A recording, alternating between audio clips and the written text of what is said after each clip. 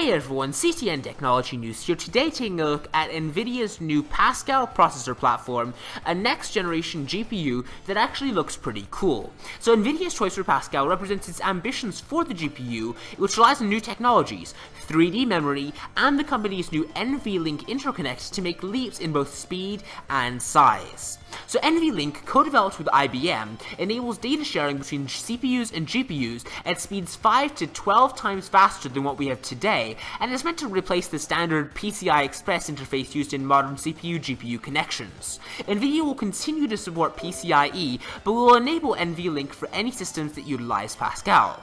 Now 3D memory uses a new chip-on-wafer integration that will quadruple energy efficiency while multiplying capacity by 2.5 times current standards. Pascal will have applications in machine learning and supercomputing, as well as cloud computing and gaming, and NVIDIA will replace the Maxwell GPU architecture used in this year's GeForce 800 series GPUs with Pascal by about 2016.